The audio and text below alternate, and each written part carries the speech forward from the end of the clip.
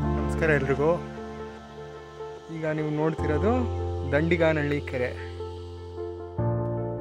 ನಮ್ಮ ಬೆಂಗಳೂರಿಂದ ಕೇವಲ ನೈಂಟಿ ಮಿನಿಟ್ಸ್ ಡ್ರೈವ್ ಮಾಡಿದರೆ ನಿಮ್ಗೆ ಒಳ್ಳೆ ಟ್ರೆಕ್ಕಿಂಗ್ ಸ್ಪಾಟು ಆಗುತ್ತೆ.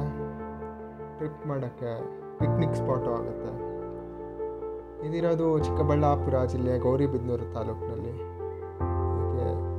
ದಂಡಗನಹಳ್ಳಿ ಕೆರೆ ಅಂತ ಹೆಸರಿದೆ. ಅವಲ್ಗುರ್ಕಿ ಬೆಟ್ಟದ ತಪ್ಪಲೆಲ್ಲ ಇದೆ.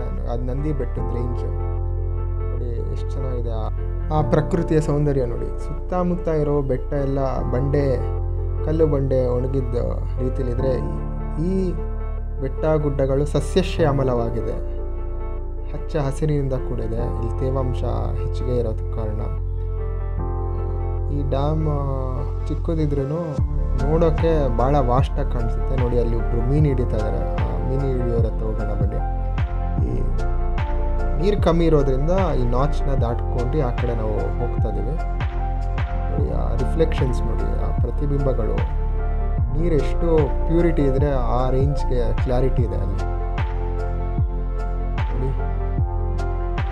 ಅಲ್ಲಿ ಮರಳು ಕಾಣಿಸ್ತಾ